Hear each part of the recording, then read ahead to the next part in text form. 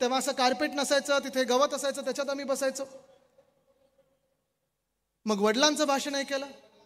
मग दोन हजार दहा साली मला आठवतं ह्याच मंचावर ह्याच दिवशी दसऱ्याच्याच दिवशी युवासेना स्थापन केली होती आणि माझ्या आजोबांनी वंदने हिंदू सम्राट बाळासाहेब ठाकरेंनी तलवार तर हातात दिली पण ताकद दिली आशीर्वाद दिले प्रेरणा दिली बळ दिलं की आदित्य लढ ह्या महाराष्ट्रासाठी लढ या मातीसाठी लढ या देशासाठी लढ.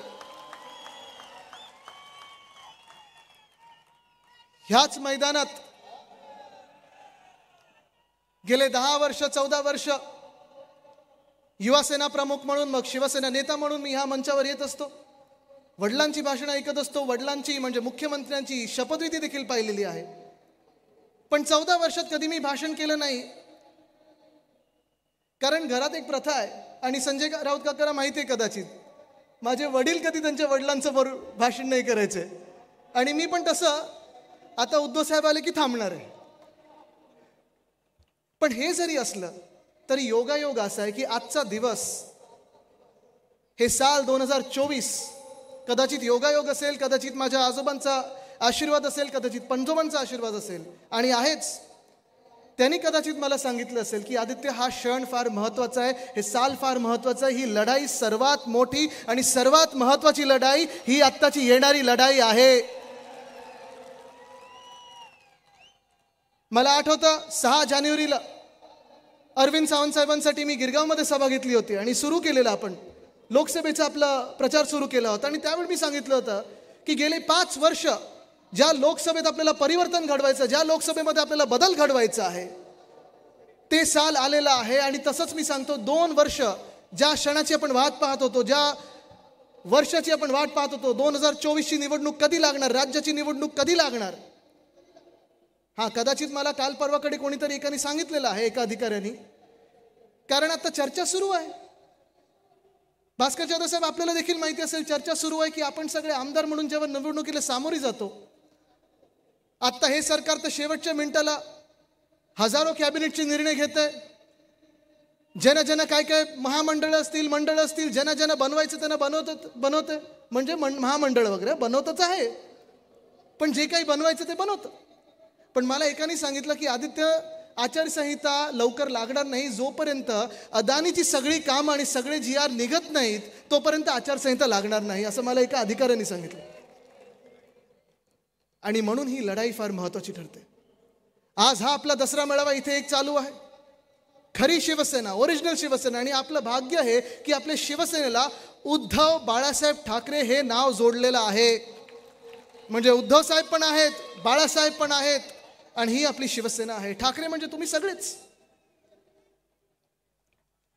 पण ही ही जी लढाई आहे ही महत्वाची एवढ्यासाठी आहे माझ्यासाठी देखील महत्वाची एवढ्यासाठी आहे कारण ही लढाई वैयक्तिक नाही स्वतःसाठी नाही कुठच्या पदासाठी नाही सरकार बनवण्यासाठी नाही तर आपल्याला महाराष्ट्रात ही जी लूट चाललेली आहे कदाचित सुरतेच्या लूटाचा जो बदला घेत आहेत ही लूट हा भ्रष्टाचार मुंबई जी विकत आहेत हे सगळं रोखण्यासाठी ही महत्वाची निवडणूक आहे. हे तुम्ही ठरवायचं आहे की मुंबईला आपण अदानीच्या घशात घालू देणार आहात की नाही हे तुम्ही सर्वांनी ठरवायचं आहे. हा निर्णय तुमच्या हातात राहणार आहे. कारण ह्या दोन वर्षामध्ये जर पाहिलं आपण तर दोनच गोष्टी झालेल्या आहेत. एक म्हणजे मुंबईची लूट आणि दुसरं म्हणजे महाराष्ट्र असेल मुंबई असेल सगळे प्रकल्प असतील त्यांच्या आवडत्या मित्र कॉन्ट्रॅक्टरच्या घशात घालण्याचं काम एकनाथ शिंदे करत आहेत मिंदे सरकार करत आहे स्वतःसाठी खोके आणि महाराष्ट्राला धोके म्हणून जे करत आहे ते जर रोखायचं असेल तर आपली ही ताकद जी आहे ही एकजूट जी आहे ही कायम ठेवायला लागेल आणि या निवडणुकीत दाखवायला लागेल की हा महाराष्ट्र आहे जो झुकणार नाही आणि कधी विकला जाणार नाही. भ्रष्टाचार भ्रष्टाचार भ्रष्टाचार किती भ्रष्टाचार पाहायचं? आधी हे भाजपवाले जेव्हा यायचे आपल्याकडे आणि सभा घ्यायचे तेव्हा ते एक एक भ्रष्टाचारचे ए टू झेड काढायचे. A for B for C for पण राजन विचारे साहेब जर आत्ता आपण पाहिलं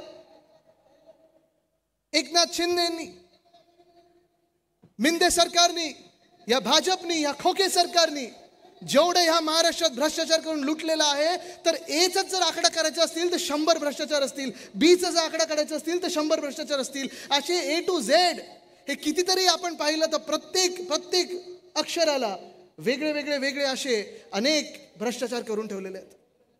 मुंबईचंच जर म्हणायचं झालं तर मागच्या वर्षी असेल किंवा ह्या वर्षी असेल दोन मोठे घोटाळे रस्त्यांचे झाले तिथे मुंबईकर किती जरा हातवरती करून मला दाखवा. आहात ना तुम्ही सगळे मुंबईकर. तुम्ही मला सांगा मागच्या वर्षी जो रस्त्याचा घोटाळा मी उघड केला पत्रकार परिषद घेतली पंधरा जानेवारीला मी भ्रष्टाचार तो उघड केला होता आणि त्यावेळी प्रधानमंत्री महोदयानं सांगितलं होतं की प्रधानमंत्री महोदय ह्याच्यात नाव तुमचं खराब होणार आहे बदनामी तुमची होणार आहे तुमच्या हातातून हे भ्रष्टाचारी काही कामं करून घेत आहेत तुमच्याकडून भूमिपूजन ज्या गोष्टींची करत आहेत कधीही ती गोष्ट होणार नाही या मुंबईत ही कामं कधी सुरू होणार नाहीत. पण रावते साहेब सहा हजार कोटीचा मागचा घोटाळा रस्त्यांचा जेव्हा मी हा घोटाळा उघड केला तेव्हा मुंबई महानगरपालिकेला मान्य करायला लागलं आणि एक हजार कोटी मुंबईचे वाचवायला लागले मुंबईचे कमी करायला लागले आणि तरी देखील मी आज सांगतो अजूनही पाच हजार कोटीचा घोटाळा हा आपल्या डोळ्या देखत आहे. एक तरी रस्ते ह्या मुंबईत गेल्या दोन वर्षात नवीन झालंय का मला सांगा? कोणाचं तरी भाषण ऐकलेलं मी? कोणाचं तरी भाषण ऐकलेलं? दोन वर्षात! मग परत शर्ट खाली खेचायचा आणि म्हणून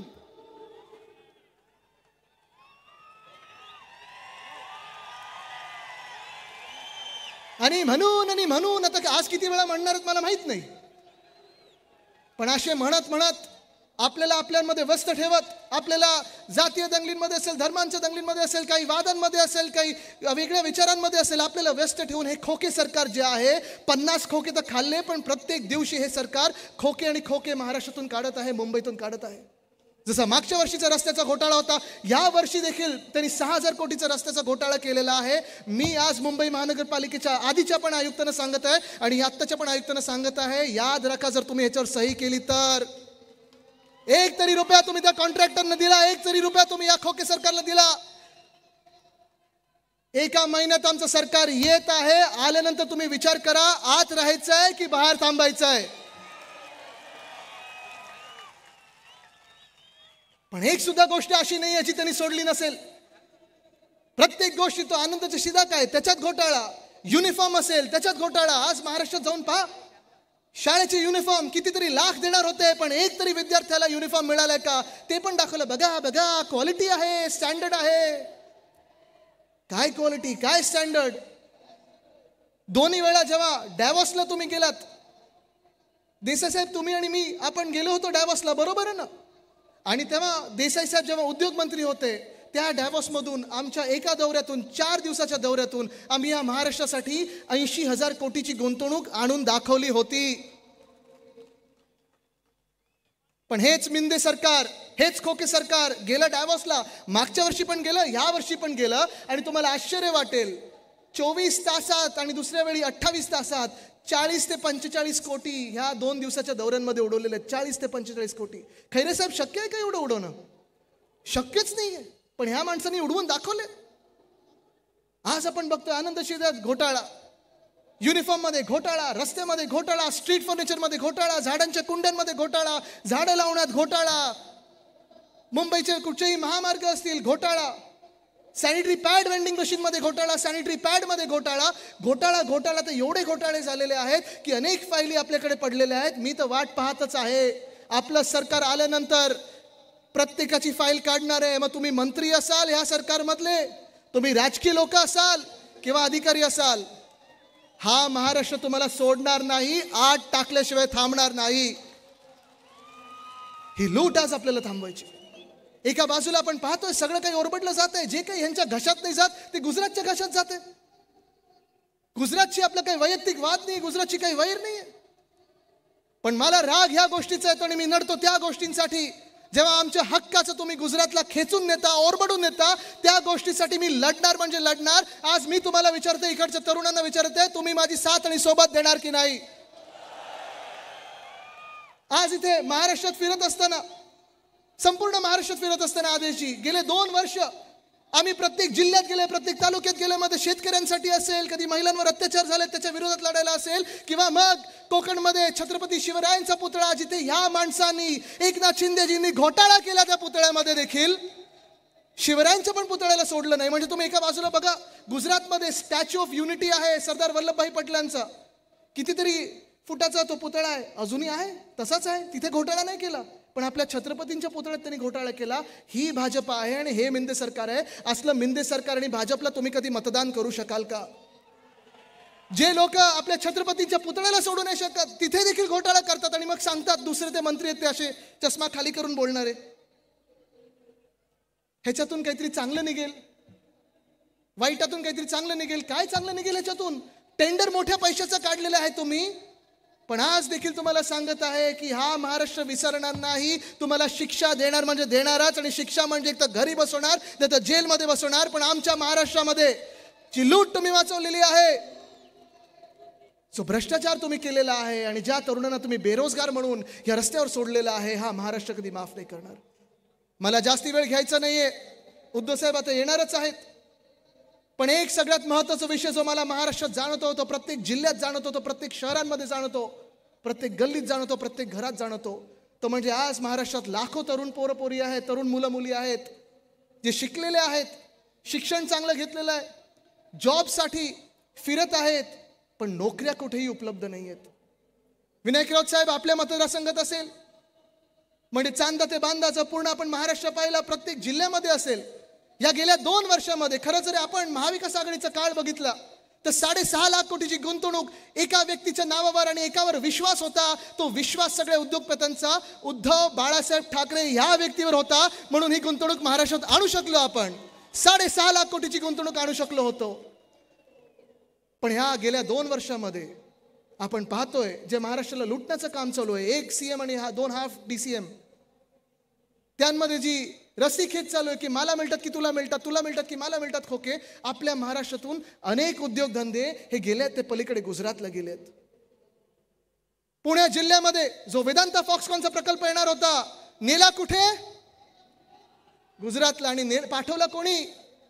तर मिंदे सरकारनी पाठवलाय ह्याच मिंदे सरकारनी ह्याच घटनाबाह्य मुख्यमंत्र्यांनी. जो विदर्भामध्ये एअरबस टाटाचा प्लांट येणार होता तो नेला नेला कुठे? गुजरातला पाठवला. आणि पाठवला कोणी? ह्याच मिंदे सरकारने पाठवलाय निर्लज्ज मिंदे सरकारने पाठवलेला आहे. जो बल ड्रग पार्क आपल्या छत्रपती संभाजीनगरच्या जिल्ह्यात येणार होता तो पाठवला कुठे? गुजरातमध्ये पाठवला कोणी? तर मिंदे सरकारने पाठवलेला आहे. जो आपल्या रायगड जिल्ह्यामध्ये मेडिकल डिव्हाइस पार्क येणार होता तो देखील पाठवला कुठे? तर गुजरातमध्ये पाठवला. पाठवला कोणी? तर मिंदे सरकारने पाठवलेला आहे. म्हणजे सगळं काही आता तुम्ही विचार करा. सगळं काही उचलतायत आणि नेतात गुजरातला. ह्यांचं जर सरकार चुकून आपल्या डोक्यावर बसलं तर मंत्रालय देखील नेतील आता हे गुजरातला. हे आपल्याला आता रोखायचं आहे. आज जर तुम्ही मला विचारलं की आदित्य तुमचं सरकार तर येणारच आहे. महाविकास आघाडीचं सरकार येणार आहे. तुमच्या तीन महत्त्वाच्या प्रायोरिटी काय असणार? सगळ्यात तीन महत्त्वाचे मुद्दे काय असणार? पहिल्या तीन गोष्टी तुम्ही ज्याच्यावर काम करणार ते काय असणार? आज मी ह्या महाराष्ट्राला सांगत आहे नोकऱ्या नोकऱ्या आणि नोकऱ्या ह्या तिन्ही गोष्टी.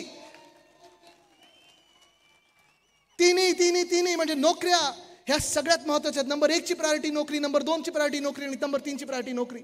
मग ते स्पर्धा परीक्षा असो. आमच्या मराठवाड्यातून असतील विदर्भातून असतील अनेक तरुण तरुणी बसतात या स्पर्धा परीक्षांसाठी. चार चार पाच पाच वर्ष मेहनत करतात दिवस रात्र मेहनत करतात.